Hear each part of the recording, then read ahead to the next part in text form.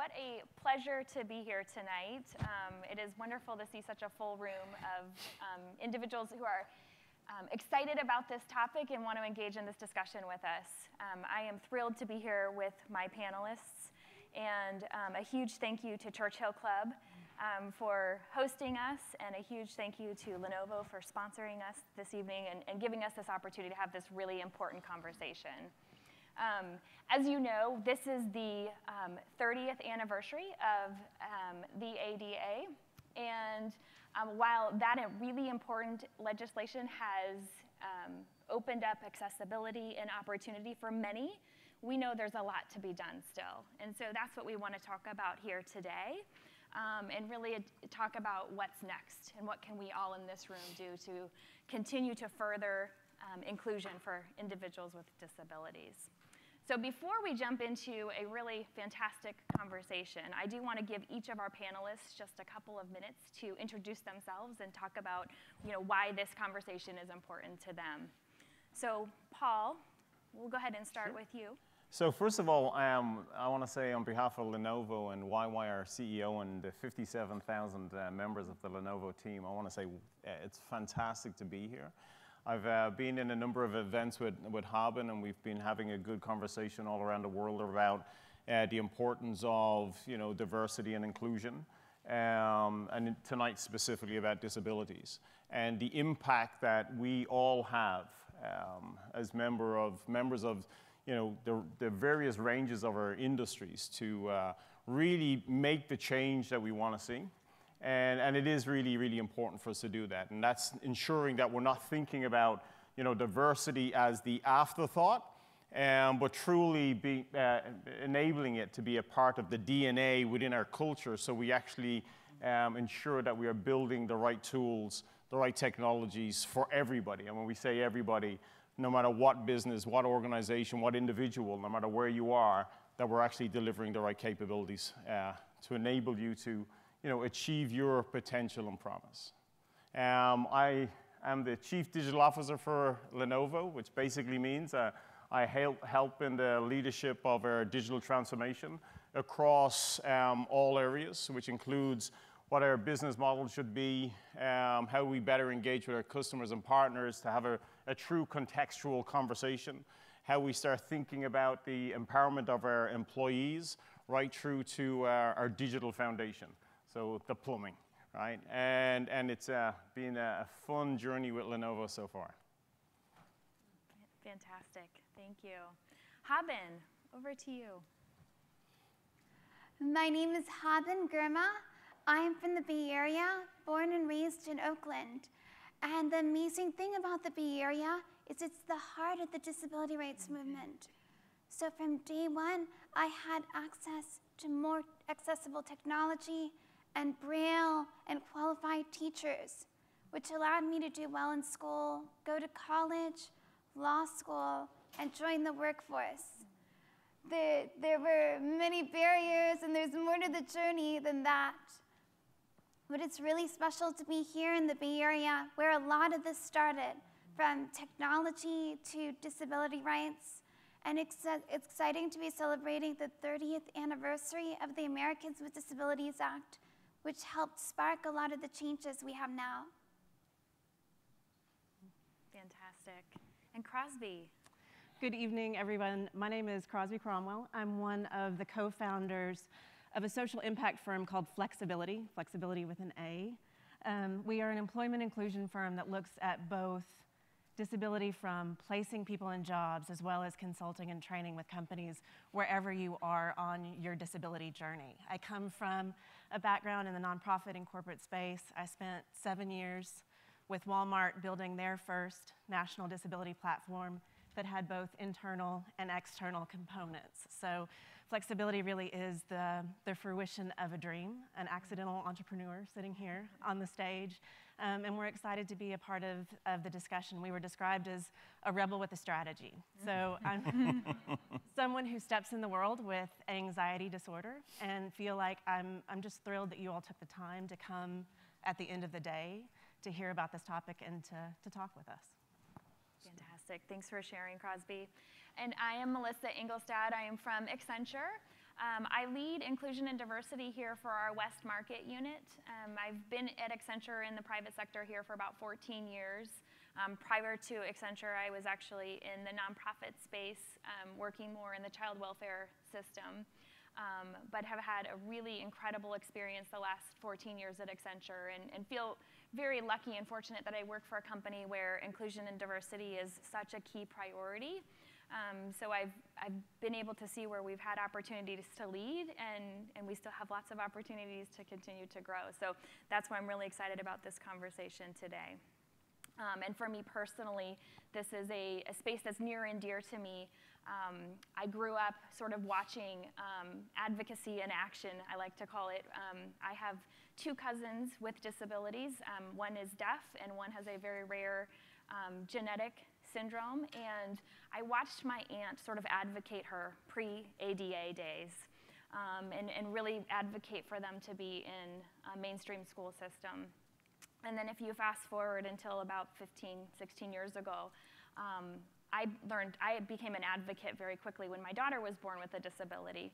And so it's something that's really near and dear um, and important to me. And as I watch her grow and finish her high school career here shortly, um, the things we're talking about today are going to really be, you know, hitting home for us personally as well. So um, it certainly has a personal connection to me and my family.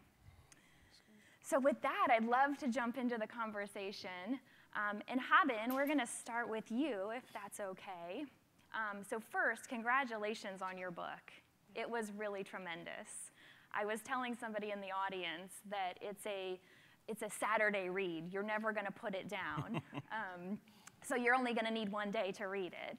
But it was really fantastic. And I thought you did a really great job um, illuminating your journey and your stories um, about where you were included and excluded growing up. Um, so thank you, first of all, for just sharing so candidly. Um, we've clearly done a lot. We've, we've made a lot of progress, and, and your journey and your story highlighted some of those areas. We've made some progress in technology that's um, opened up some inclusion for folks with disabilities. But I'd love your perspective on, you know, a couple of things just top of mind that you think we could be doing better immediately to really support inclusion of individuals with disabilities. One of the biggest barriers for people with disabilities is assumptions that we're incompetent. Mm-hmm. We have many talents. Many of us non disabled people also have challenges, and it's assumed that people with disabilities only have challenges and no talents. So it's important to teach that every person has challenges and talents, and employers, hiring managers, should be trained to see humans mm-hmm. as having both talents and challenges. I, I did really well in school. In high school, graduated valedictorian. When I got to college, I decided it's time to try to get a job. And one of my friends told me, I know a place where you can get a job Alaska. so I said, okay, and I flew up to Alaska. And he was right. There were lots of jobs in Alaska. it was summer in the tourism industry, lots of job openings. So I applied. They called me in for interviews, and that's when they discovered I have a disability. I'm deaf blind, I have limited vision and hearing. I have many, many talents, but they were stuck at my challenges, vision and hearing, and they could not imagine how I would be able to do jobs like washing dishes or folding laundry. My parents made me do chores, so unfortunately, I had to learn all of those skills. They're tactile skills too. You do not need to be able to see to fold laundry. But employers kept refusing to hire me. They saw my resume, all the good grades, glowing recommendations, and they were pulled in when they saw that. But once they saw my disability, they came up with excuses. Oh, we're no longer hiring, we're not interested, not a good culture fit. That happens to a lot of people with disabilities. 70% of the blind are unemployed. Many have college degrees, PhDs, but employers assume that we're incompetent. Mm-hmm. Unemployment is double for the disabled compared to the non disabled. I eventually did find an employer who gave me a chance. She hired me to work the front desk at a small gym in Alaska. And my responsibilities included taking care of the cash register, making sure the machines worked. One day, a woman came to the front desk and said, A treadmill isn't working. I followed her to the treadmill and I hit the on button. Nothing happened. I tried the other buttons on the machine. Nothing happened. So I put my cane down and I felt the machine from top to bottom. on the bottom, there was a switch. I flicked the switch and the machine worked to life. The woman told me, Oh my goodness, I didn't see that switch. I told her I didn't see it either. Disabled people have alternative techniques. Mm-hmm. Sometimes those alternative techniques, like touch, are superior to mainstream techniques. Mm-hmm. If you don't know how a disabled person is going to do a job, ask what accommodations will you use? How do you plan to do the job? You'll learn a lot in the process. You'll even find new ways and better ways to complete a task. So, one of the things we really need is to educate hiring managers that disabled people also have talents. Everyone has challenges and talents. The other thing we need to do once we hire people with disabilities, we need to remove barriers in the office. There are lots of barriers in the office, and some of them are, are caused by technology. I'm now encountering barriers that I didn't encounter in the past. For most of my life, I've been able to use elevators. You walk in, read the braille label, hit the button, exit on your floor. A few years ago, I encountered an elevator that was all touch screens. It was not accessible to me. And something I used to be able to do independently was taken away by technology. As we build technology, we need to make sure it's accessible to everyone.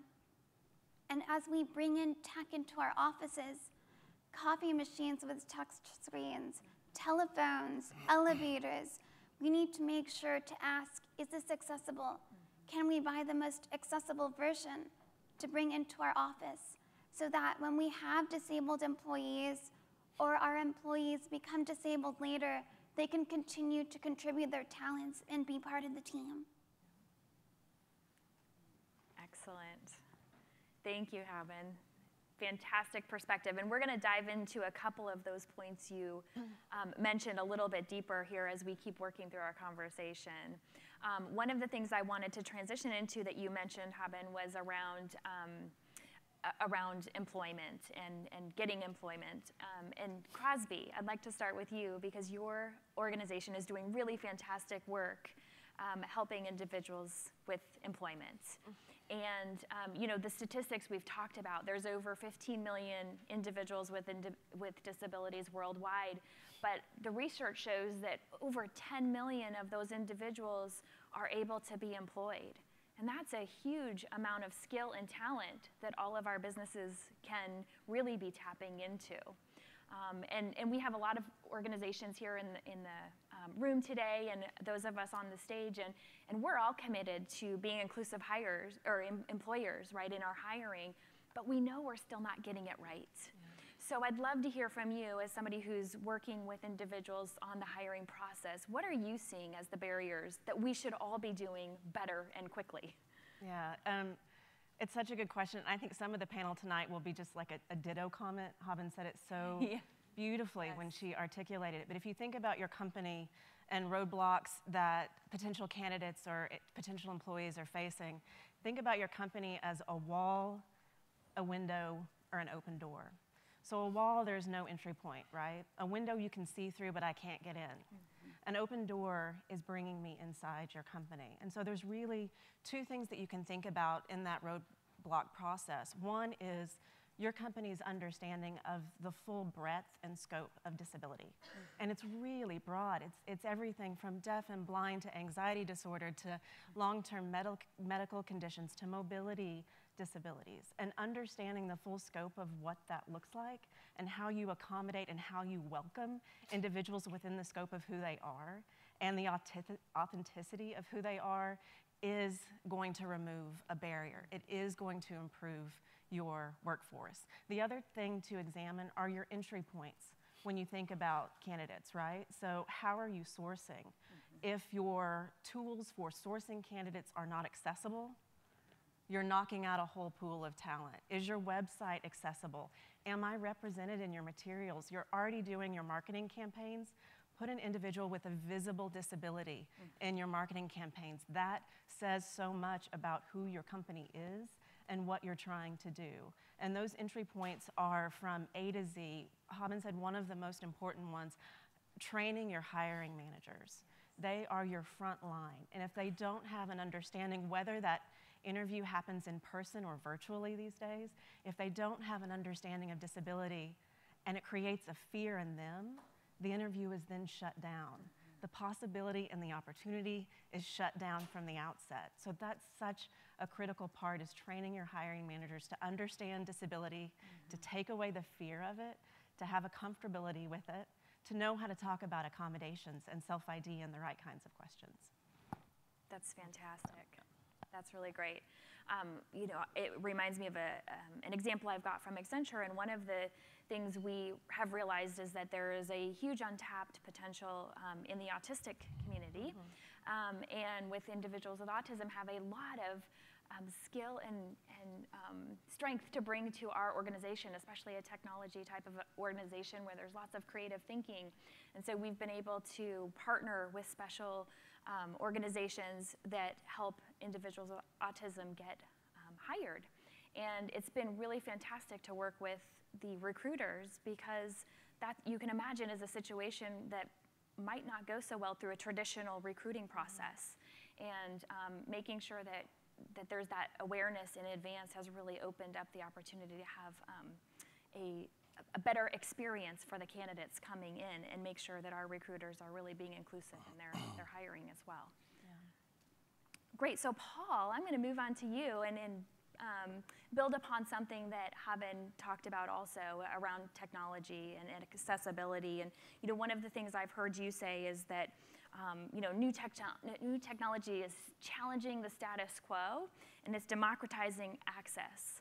But we also heard about how it can create challenges. Sure. Um, and so how are, how's a company like Lenovo sure. um, focused on making sure we're keeping technology accessible? Sure, so, so when you think about our, you know, the, our, our, purpose in essence is really around how do we bring smarter technology to all? And, and a lot of the time there's been a big emphasis on smarter technology, right? And what we can do with smarter technology. But we've also put a lot of emphasis around the all to ensure that we're really thinking about the entirety of the diverse communities that we have. Look, I've, I've had the privilege of working for some amazing companies, and, and to be honest, um, most of them have been extremely diverse, but I've never seen a, I've never worked for a, a company as diverse as, as, as, Lenovo that really kind of puts its money where its mouth is. Mm-hmm you know, this is one of the reasons why you know we we uh, are working really closely with Haben as our you know uh, diversity and inclusion ambassador to really help us think um, about everything that we're doing from the um, inception of a product all the way through to how we bring it to market. Look, there are approximately a billion people on the planet that have some level of the, uh, disability.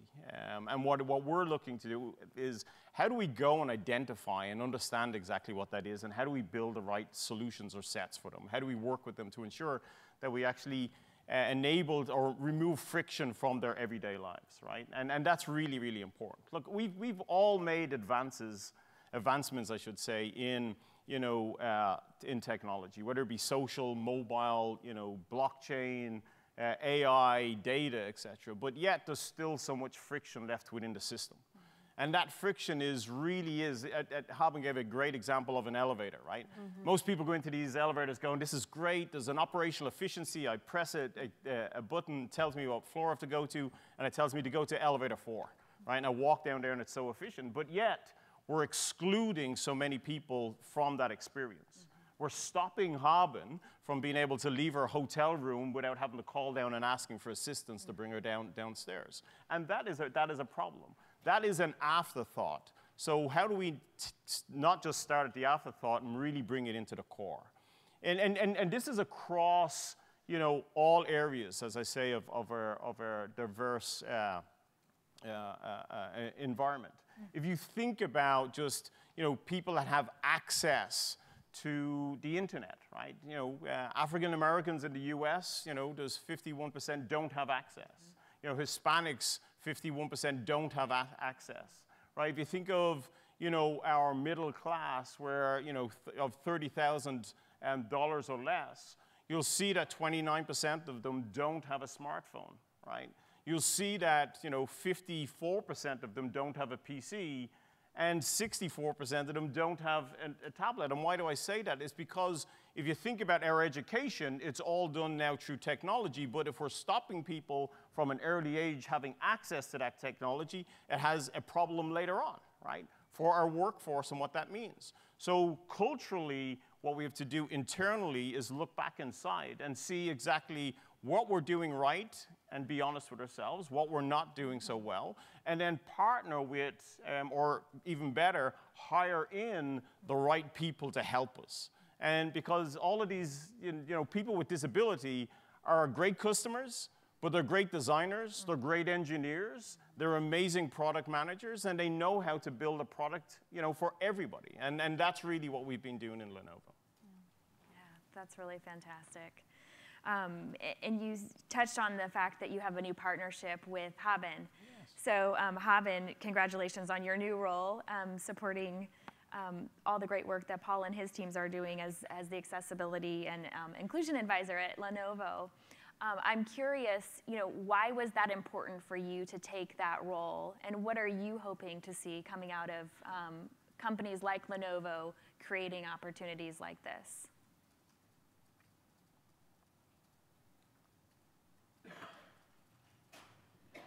every tech company should have a role focused on disability and accessibility.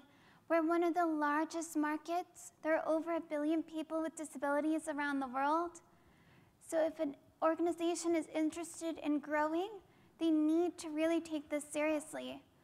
And Lenovo wants accessibility to be at the heart of the culture. And that's, that's what I'm doing to help create a culture with more access and inclusion where we see people with disabilities of drivers of innovation. Mm-hmm. There are lots of stories of disabled people creating, sparking innovation. A lot of people don't know those stories.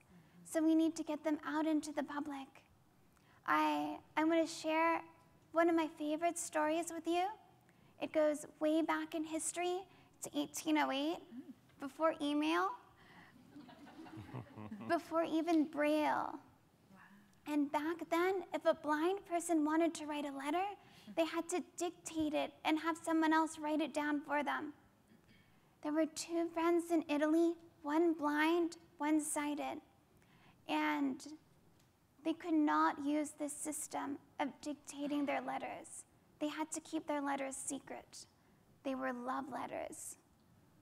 They used this as a design challenge how can we create a way to write that doesn't require sight? And they built the first working typewriter.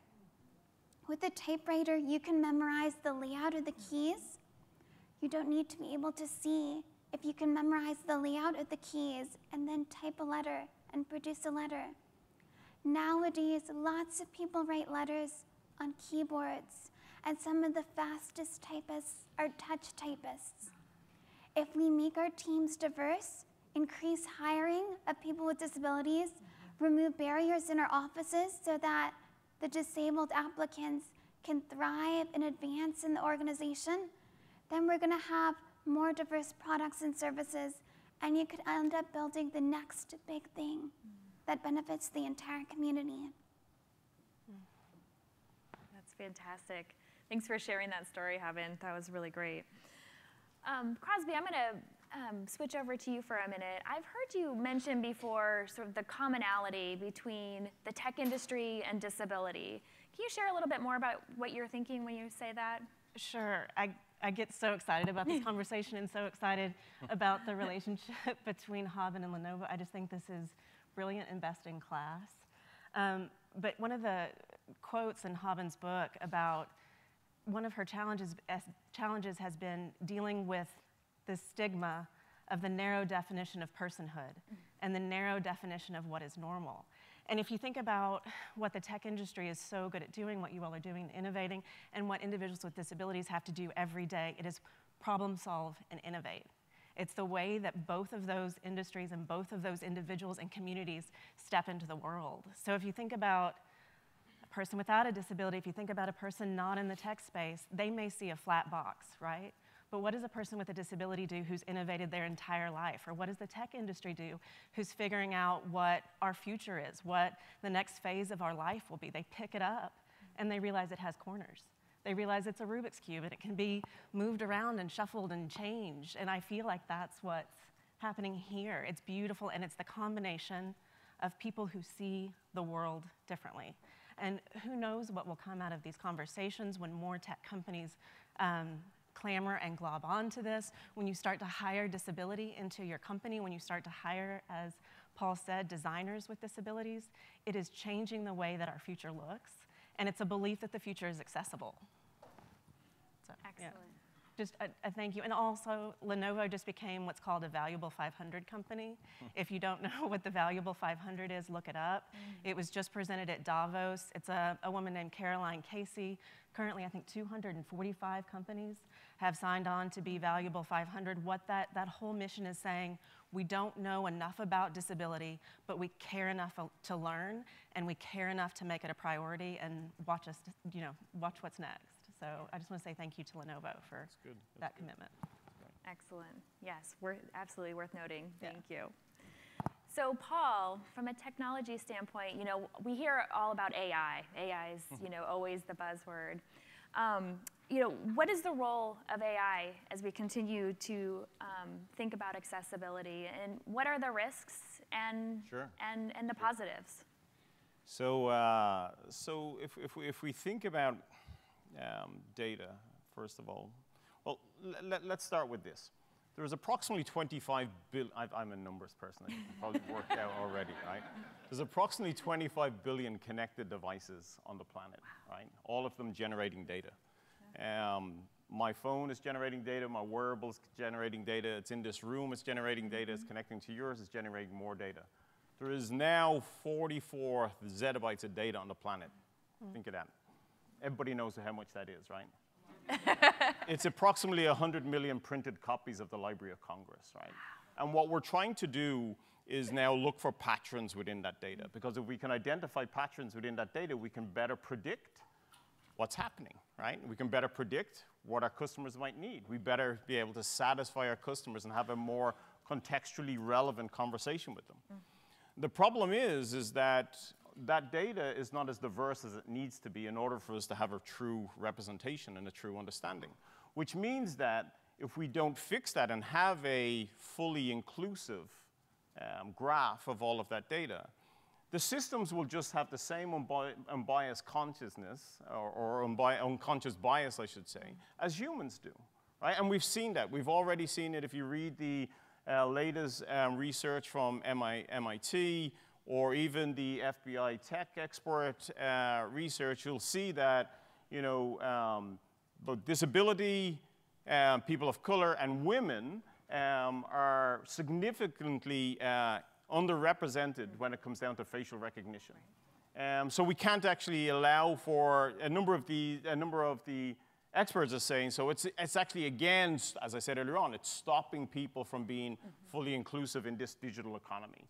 And, and that's, that's kind of scary when you think about you know, what, what we're trying to do. So for, I'll give you an example. Um, about 12 years ago, myself and a couple of guys put a patent together around, uh, has everybody ever heard of a, uh, a cashierless store where you can go in and pick up something and, and then leave. So we put that pattern together to do that about 12 years ago. You know, I grew up in Ireland and if you, in Ireland, when I was growing up, if you picked something up, put it in your pocket, and walked out, that would be called stealing. but um, now it's a customer experience.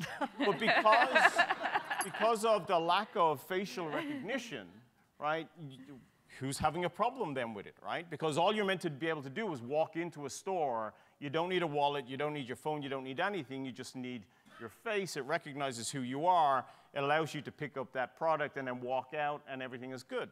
Um, but because of facial recognition and the lack of diversity, you'll see the, the people are being impacted, or people with disabilities are being impacted by that. People of color are being impacted by that, and women are being impacted by that. So, what we have to start thinking about is ensuring that all of that data that we are utilizing, that we are enabling, and the machine learning and the deep learning that we're doing on and around that is actually fully inclusive because we're, we're actually starting to see a digital divide happening mm-hmm. slowly but surely. And if we don't fix it now, it, it just becomes a, a little bit too big for us to handle later on. So, again, that's going to be the afterthought. And what we're trying to uh, get people to really think about is design it from the beginning, from the, you know, the concept of a solution, and ensure that we do it the right way. Excellent. Well, I know the audience is going to have a lot of questions probably around um, technology, and when we open up in a few minutes for um, open Q&A, I, I expect some more. But I do want to shift for our next couple of minutes. We've got about 10 minutes before we'll open up to audience conversation. But um, one of the things I've heard all of the panelists talk about beyond technology and accessibility is culture right? And the importance that um, the culture within our, our companies plays in making sure that we're creating that inclusive space. And um, uh, Karen mentioned the research that we had done at Accenture um, about a year ago.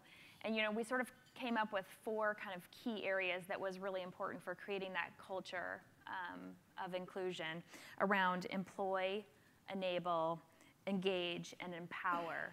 And you know, we've spent some time talking about employ, um, and we've talked about enable through through technology. So I'd really like to talk about um, that pillar of engage and empower, and um, how we're doing that. And so I'd love to um, start with um, with Crosby. And, and share your thoughts around, you know, either employ or, en- um, or sorry, empower or engage, um, and how you think companies and organizations can do that. Yeah, um, it's a good question. When you think about empower and engage, what we need to do and what we're trying to do, really, especially with, with Flexability, is change the narrative of mm-hmm. disability. The narrative of disability has been historically a medical model or a charitable model, mm-hmm. when it should be one of empowerment, social, um, and justice, right? So it's, it's a shift not only in the activist ad- advocate community, but it's a shift that needs to happen inside companies. And how do you do that? How do you shift that narrative? One, use your employee resource group as a focus group, as um, a think tank for how to start to tell your stories within your company and externally, whether that's a blog or whatever you choose to do. Especially, this is such a, a cool time to think about this as it's the 30th anniversary of the ADA. What can you all be doing on July 26th mm-hmm. as a company that recognizes this landmark year? It's an opportunity, take it. Take it. And so when you think about changing that narrative, again, like I said, just you know, utilize your employees, I think is one of the, the strongest things you can do. I mean, at the end of the day, we all need a safe space. Mm-hmm. And if you're creating a safe culture and a safe space within your company, then people with disabilities are going to feel free to ask for ac- accommodations, to disclose, to want to stay. Your retention will increase. There's a, a Harvard Business School study that just came out that shows that um, companies that are utilizing disability have a higher retention rate, have lower overhead costs because of the retention rate. I mean, there's a, there's a business case behind this. And the business case is just the place to start. It's understanding that it's good for disability, and then the human and the social good of this is what it does for your employees on the inside. Yeah, that's fantastic. Paul, what are a couple of examples um, at Lenovo? Yeah, there's a, there's a number. There's a number. We, we've we've put together a from a number of uh, you know, executives across Lenovo, We've put together a, uh, a diversity and inclusion board mm-hmm. that really ensures that this, this is, you know, this sits at the, the C-suite. Yeah. Right? We're really talking about it from, from the top all the way down and ensuring that it's not just talking about it, but how do we actually walk the walk? So the ERGs, I mean, is something that we put a lot of focus in to make sure that people do feel included, no matter where they are, who they are. Um, but, but even more so, we started up the Lenovo Foundation mm. that's really aimed at STEM and ensuring that we can actually include you know, our, our younger uh, members of our society actually into technology, making sure that they, as well as, as, as, much as we can, we can actually provide them with as much technology as, as, as, as we possibly can. But as I said, working with Haben is actually really getting us to think and rethink. Mm -hmm. Is there some other areas that we should be working on or should be doing? Now, Haben is you know, spending a lot of time not only with our, our executives, but all the way through our organization, mm -hmm. because it is a cultural change. And to be honest, culture eats strategy every day. So as much as we talk about it, unless we really think about it from a cultural perspective, you know, it doesn't go anywhere. And I think we got to really walk the walk there too, right?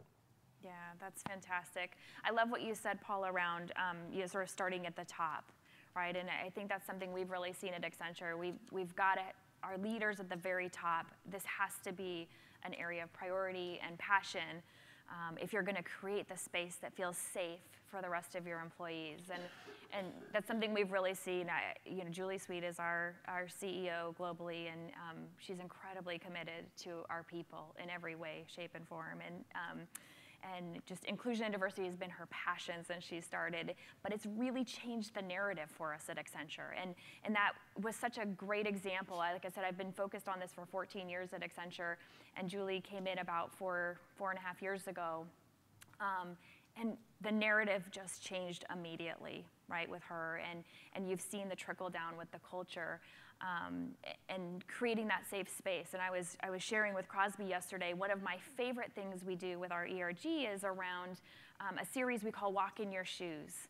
And it's, um, we've created enough of a safe space for our disability ERG, for individuals want to share their story. They, they're raising their hand. We have the, you know, a, the schedule is full for the next year of individuals who are raising their hand and want to join this webinar and share their story and talk about their disability, but also talk about what they're contributing to our business, right. right? Because it's not just about their disability, it's about their role and what they're doing every day. And it has been a tremendously successful um, series, but just a neat opportunity to open up the dialogue, and I'm tremendously proud of it. Mm -hmm. um, so with that, Haben, you've heard a little bit about um, what some of us are doing in our companies around um, empowering um, our, our persons with disabilities. Um, what else should we be doing from your perspective?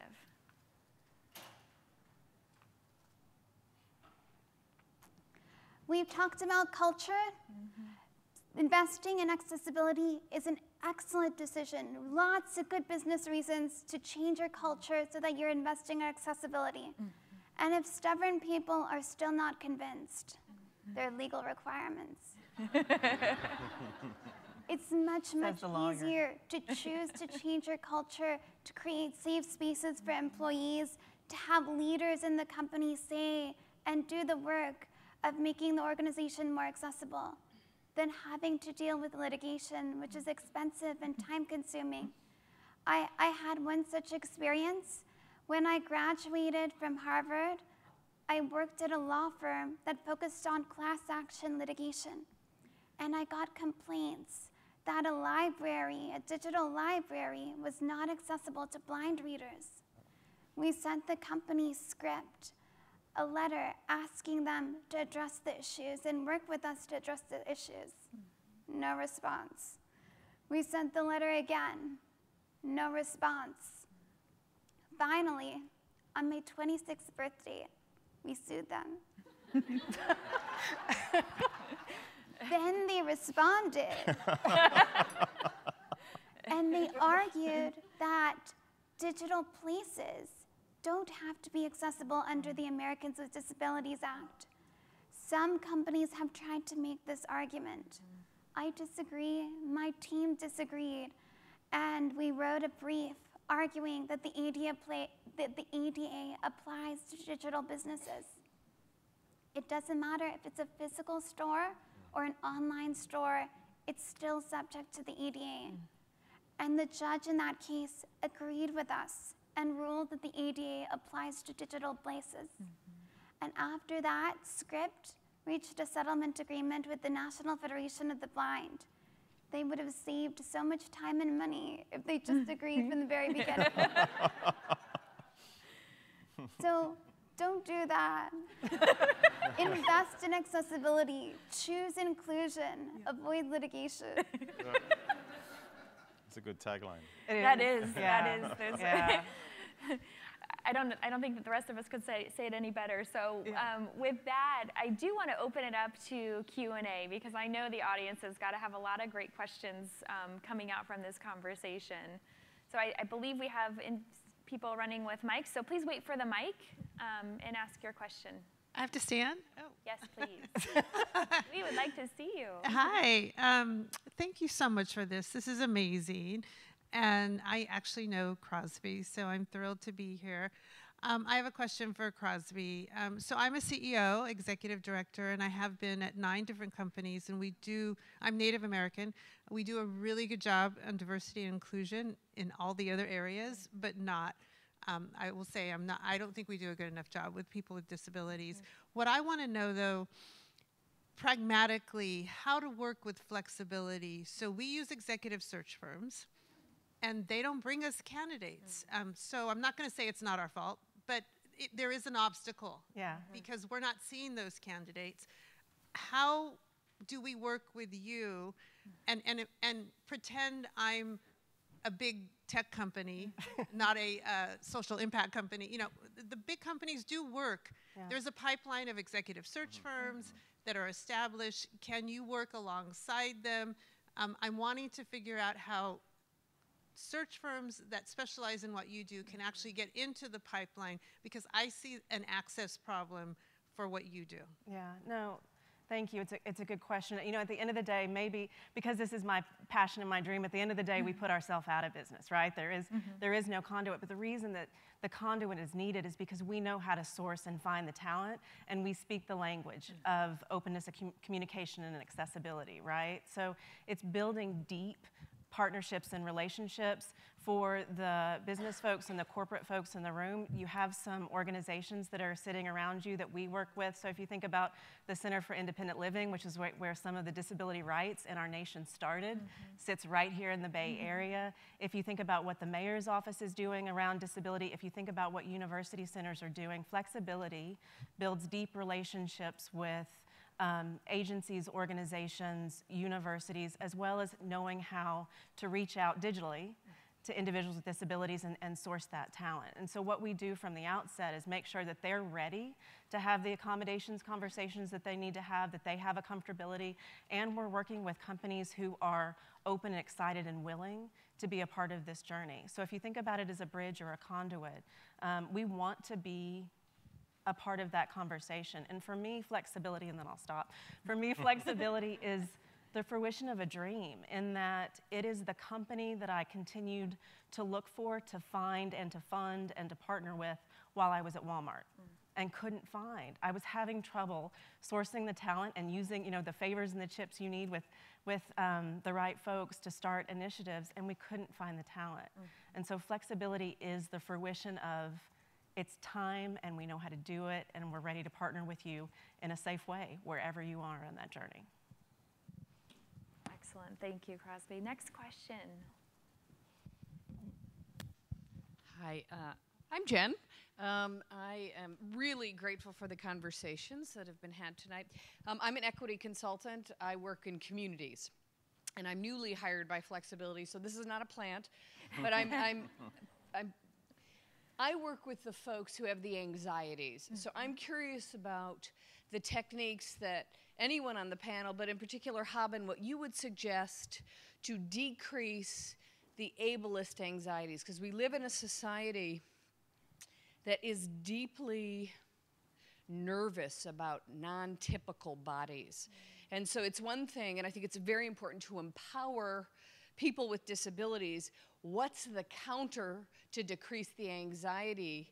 Because that's the wall that I run into when I'm trying to get folks. So I'd love to hear strategies that folks use when we're talking about how do we get that anxiety to decrease so that um, it's a safe space that you're talking about and it's an encouraging space.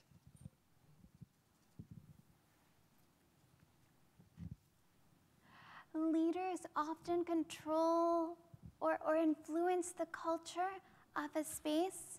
So, one thing we can do is to, to increase messaging from leadership that disability, uh, disability positive messaging.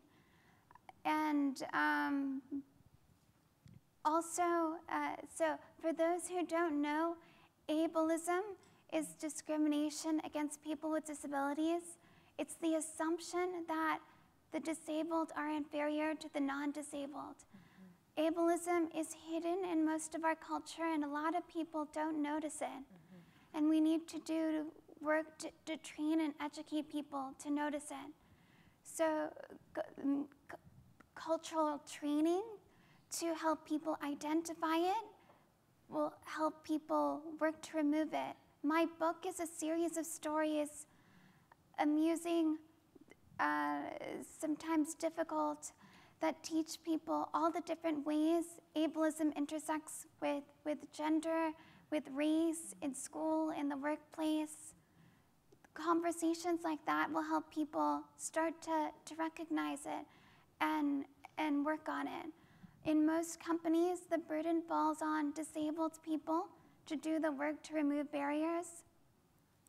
And that gets exhausting.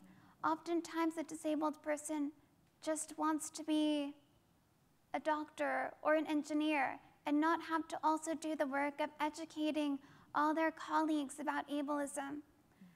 Having a designated role in the office for an accessibility person to help identify ableism in the workforce, tech barriers, social barriers, and work to remove it will save your disabled employees a lot of emotional exhaustion and time that could go into their actual mean jobs. Right. So, another thing to do is have a role for accessibility and, and create time for training so that person can do the job to educate people. Crosby, do you want to add? I think that's it. I think that's the answer. Perfect. Excellent. Our next question. Hi, I'm Iris. I'm from Mixpanel. I started our disability ERG Mixability just by being literally the first person to sign up for it. um, this is about the ADA and ways of enforcing it because we are currently stuck in kind of an awkward situation where we are subleasing office space mm. and there is no way to access one of the floors easily if you're in a wheelchair because there are no ADA door openers installed on the doors from the elevator lobby. And we can't afford two receptionists to have that second door staffed and open the people we're subleasing from have already been having a years long fight with the building to try to get it fixed, and the building management won't fix it, and we can't afford to sue them. And if we go cowboy and try to install them ourselves, we're on the hook for millions of dollars in code upgrades we can't afford. Mm. Do you have any advice on how to navigate this situation? I'm dreading the day we get an engineering interviewee in a wheelchair and have to have that conversation of, um, well, you kind of can't open the door, it's really heavy. Yeah. What do we do? Is it to Haben or to, to me? To both of us? Any of you. Anyone who has any ideas. I'll, I'll jump in then if Haben, yeah, if Haben wants to, to go after. So I'd love to have a offline conversation to kind of understand the depths of it. And this may not be practical at all, but let me start with just a really low, does a doorstop, can a doorstop stay in there? But like I mean seriously, it's a security like, issue. We don't have anyone uh, staffing the door. okay, so I mean there are there are real legal outlets that you should have, and I hear you saying that you don't have the dollars to sue, and that's why I'd want to have an offline conversation. I'm interested to hear what Haben says as well. I saw Nicole Bohn in the room, who is um, mm-hmm. the mayor's director on disability. I think this is an amazing resource for you to use to have a conversation about how can the city help in, the, mm-hmm. in this issue, um, and then just keep forcing. I'm a big believer in a lawyer writing a letter.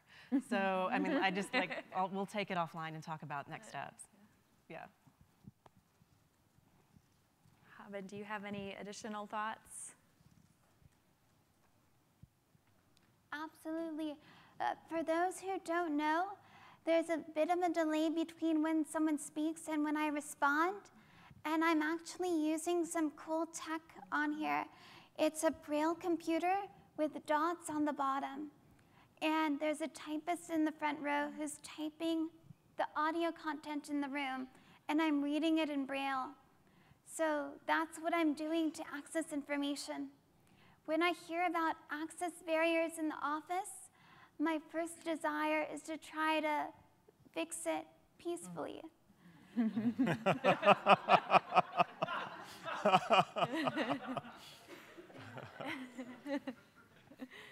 and sometimes you can do that. Sometimes educating people will help them find a simple solution like a doorstop, communication with the security guard, some kind of solution that'll work. Mm-hmm. But if someone just absolutely refuses to treat people with disabilities with respect and give them access so that they can do their job and work, then you can turn to litigation.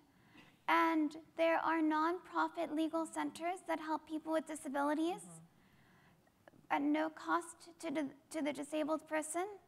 And then there are also structured negotiations where you can avoid going into court and, and sit together and, and come to a solution. Excellent. Where do we have our next question? Hi, thank you so much for being here and thank you for the panelists and sharing your perspectives. Um, I work in uh, accessibility, but I had a question from something Paul brought up and I was wanting um, to see everybody's thoughts on that. Um, I know we're here in San Francisco and Silicon Valley, like the hub of tech innovation.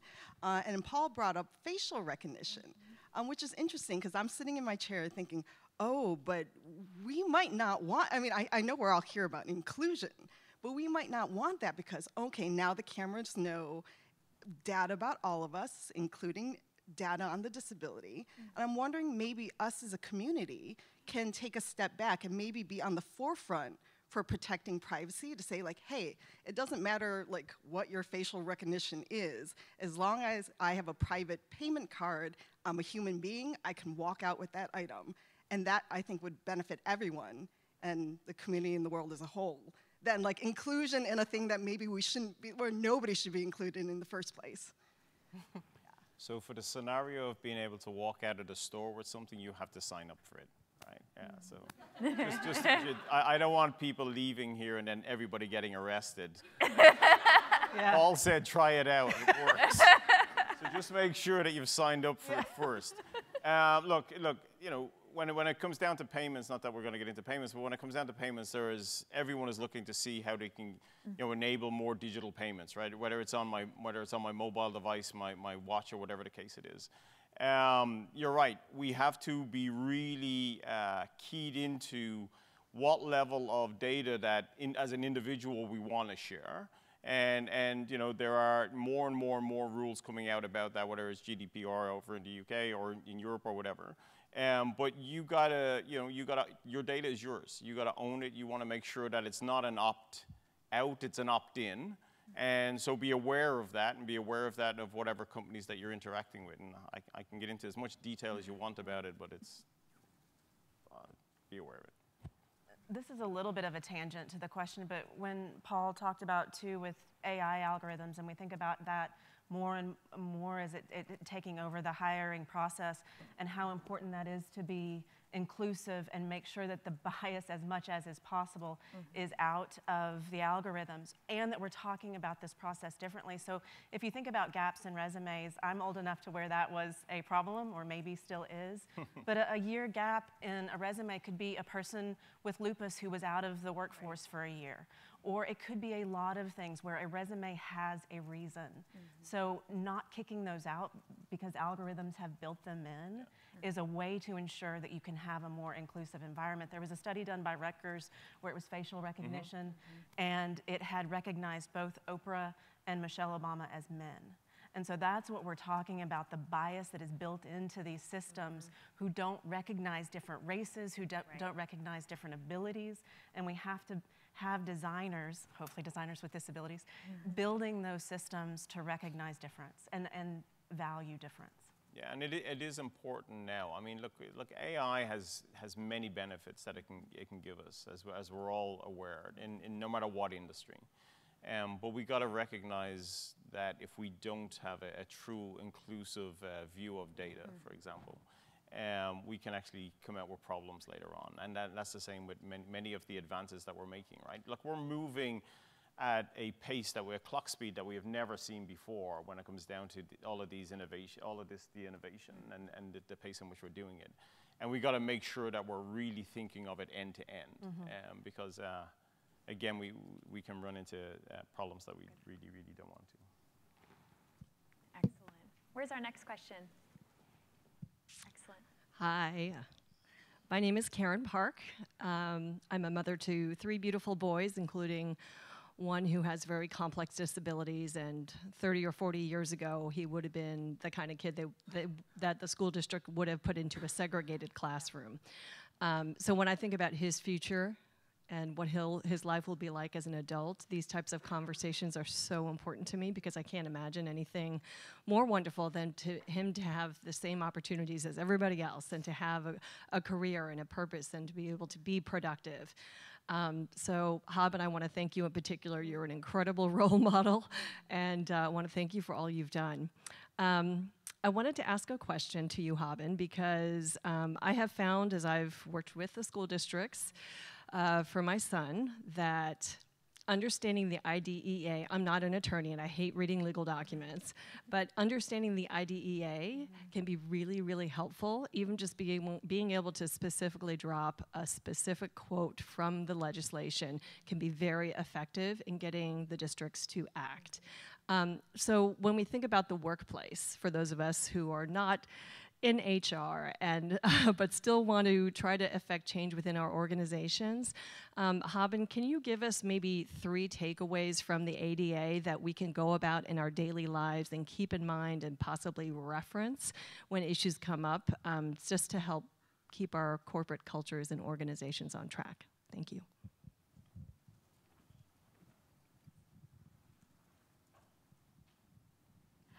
So the ADA is designed to be broad and involved with society and technology. It doesn't have specific guidelines on how exactly a school should teach a child or, or what tools or, or training a, child re- should receive. It, it basically says remove discrimination. The accommodations and tools should evolve with society and the resources available if the school has resources to buy tech that would help your child or bring in a trainer to teach your child skill that, skills that would be useful, then the school must do so. There, there are exceptions for schools that absolutely don't have the resources if it's an undue burden. But I find many schools do have the resources but just don't want to. Um, it's, it is complicated. Another angle to keep in mind is disabled adults are an incredible resource for you and your child. It would be great if you could help find friends who have similar disabilities to connect with your son. They could be his age, they could be older, and a lot of skills. Uh, life strategies and self advocacy skills can, can be shared that way. I learned a lot from joining blindness organizations and learning from the adults there. And that's how my self advocacy journey began learning about the ADA, that I had a right to advocate. I had to advocate as a kid. When I was very young, I didn't have the skills to advocate, and I missed out on a lot of opportunities. But as I grew up, high school, college, it became easier to advocate, and I started having more opportunities. So it's kind of a combination of building community so you have more resources and gain more knowledge, and maintaining pressure on the school to do as much as possible. Wonderful. Thank you, Haben. Where's it? Do we have another question? Wonderful. Yeah. Hello, um, Anya Hamilton. Um, I'm the CHRO for Poly, um, a company. We're making headsets and we're making collaboration equipment, video equipment, etc. And we are making a, a big push to a very a highly remote and distributed workforce. And I actually just spent the whole day at our HR conference called Work Rebooted, where we talked about a lot of companies are moving to really enabling um, a more remote workforce to be able to connect to work remotely. So um, my question to the panel is, is um, would that, if companies were to embrace more of a remote or distributed workforce, would that help tap into the 10 million um, talent pool that's out there? And if it would, what advice do you have for companies to go and go about going um, remote and enabling more people to connect to the workplace this way? So, so I'd say I, I think generally yes. Right? Um, I think we all have to look at where is the, the best way we can enable our workforce to to uh, um, to deliver against their, their potential. Right? Um, you know, at Lenovo we have a we have a strong um, remote workforce. Right? You know, actually I'm I'm up in Seattle. You know, um, our uh, chief uh, diversity officers down in Austin. We have a big facility over in North Carolina. Our CEO is over in Beijing, right? So we, we really are di highly distributed, and um, it seems to work for us. As long as you can place in the, the right tools, the right processes to enable your workforce to be able to do their job, right? You know, um, it's very easy to have good synergies with other members of your workforce when you kind of meet them in, in the corridor or whatever the case it is. Um, so if you're, if you're taking that away to some degree, you have to make sure that you have the right tools to allow you know, high, even more collaboration, right? right. Um, if, if you don't put that uh, fundamental uh, technology in play, it makes it really difficult, and I don't know if it'll work in that place. But for us, we, we really uh, invested in, in, the, in those tools, and that's all around kind of empowering our, our customer or our, our employees. I think part of it too is is having the right conversations and the right data that you'll need to have internally mm-hmm. to show that the productivity and the profitability profitability can happen from home. I mean, there's mm-hmm. studies coming out now. I mean, it was all of the trend to make everything open workspaces and put folks in cubicles and take away offices. And now there's a bunch of stories coming out that that actually decreases productivity because of the noise and the distraction, and we mm-hmm. end up mm-hmm. in social conversations instead of, you know, all of those things. Working from home, I think, is part of the future of work. Mm-hmm. There's a, a, wonderful activist advocate you all should look up, a woman named Alice Wong, who really focuses on the voting rights and the disability block. But sh- what she writes about most often is how much she accomplishes from her bed. Mm-hmm. Um, she was a White House champion of change. Um, there's a beautiful photo of her standing with Obama where it's um, essentially a robot with a video screen, and he's mm-hmm. talking to her, big smile on his face, and she's sitting in her bed at home. There is technology that, are com- that it's going to come from the companies in this room, that's going to come from companies like Lenovo that will change the future of work. And being open to your employees being at home in- mm-hmm. increases your ability to bring the disability workforce into your company. That's excellent. Thank you. And we've got time for one more question. Hi, my name is Badri. Um, I'm a parent of a child with autism. And uh, the comments tonight have been great and I really appreciate how you're looking at employers, how they should open up, think about inclusion. Mm-hmm. I appreciate the interviewees mm-hmm. thinking about how to uh, display their capabilities, explain them. But I want to go one step even back behind that. Mm-hmm. Do all so called disabled people have they unlocked their abilities? Do they know what they can do? Because on a personal level, I would love it if someone, whether a tool, program, person, mm-hmm. could unlock the abilities in my child or identify them. So if we slip out of my personal situation, just societally, are there programs or mechanisms to help people identify what those talents are? Excellent. Yeah, I was going to say, Haben, maybe we could get your thoughts first.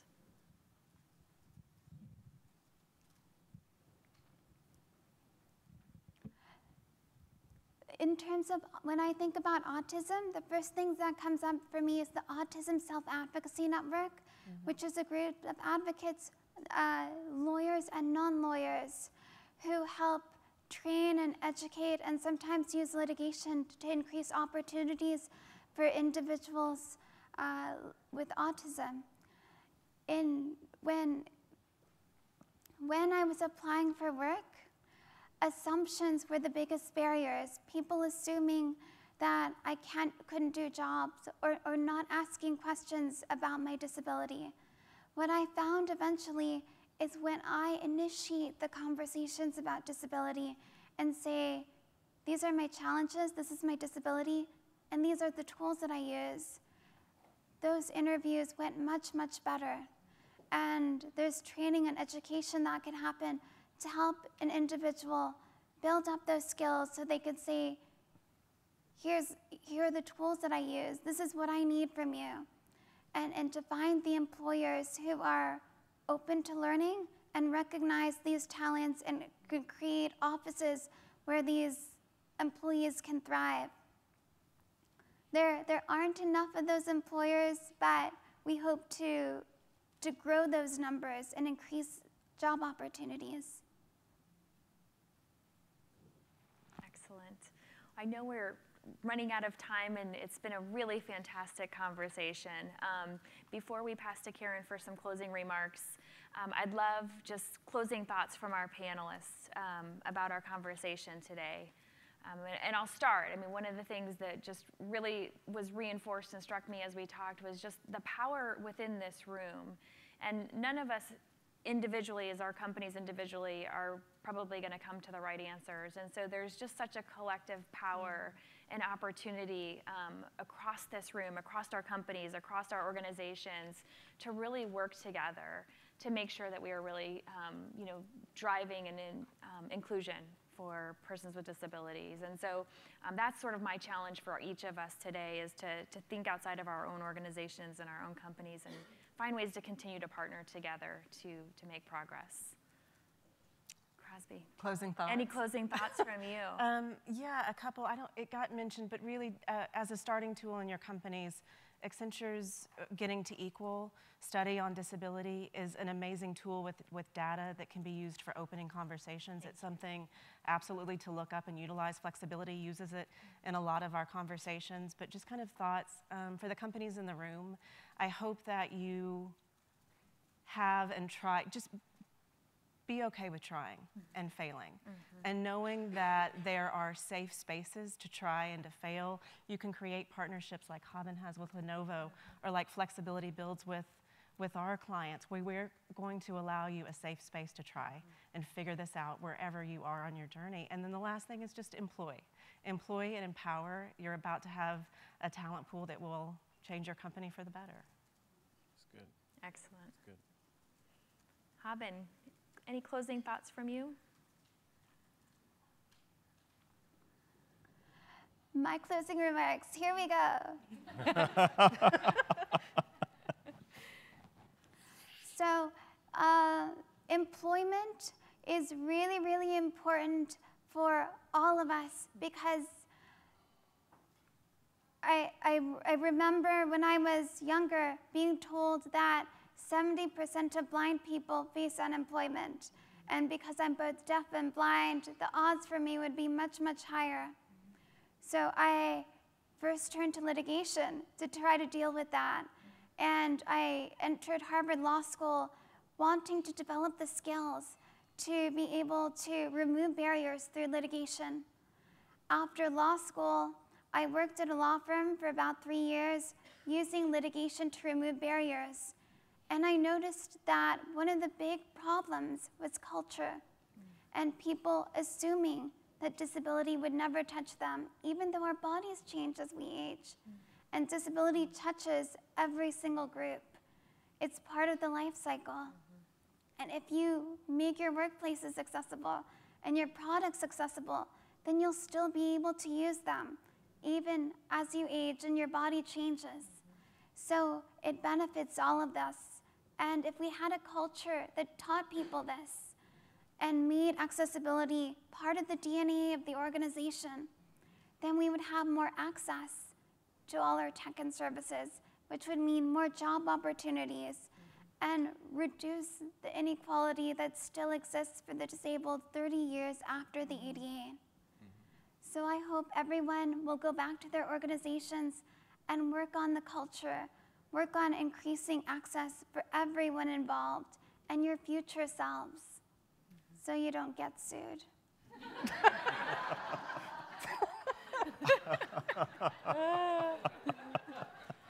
Well, Paul, I don't know how you wrap up after that, but, but closing remarks. Exactly.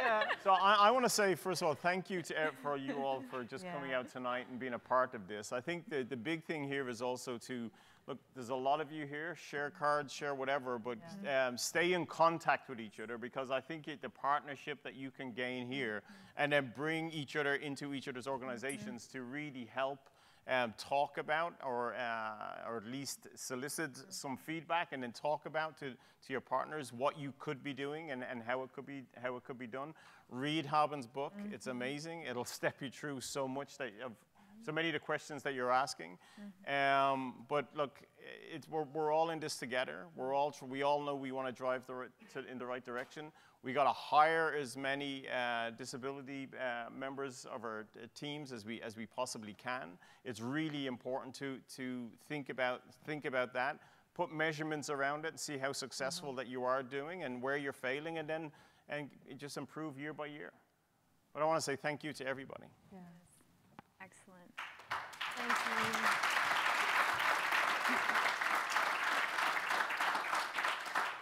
Thank you all so much for your insights, your very candid comments. We really appreciate it so much. I'd like to roll a couple of quick credits here. This would not have been possible without the support of Lenovo. We wanted to give a special nod to Tarad, Neptune, and Paul as well. Crosby helped, Melissa helped, and the amazing Zeno group uh, with Todd Irwin, Stephanie Erickson, Rachel Mahoka, and Barbie Siegel's here. Thank you so much. Uh, Lenovo has actually provided for the copy of Haben's book out there. If you haven't picked one up already, please do so. Uh, and finally, the uh, video of this program will be available very soon on our YouTube channel. We hope that you will share it widely uh, and that you will find that to be a useful resource in general. And I also want to thank the Churchill team, Metro, our speaker, coach in residence, Dennis Sakamoto. Thank you. Let's go make a difference. Good night.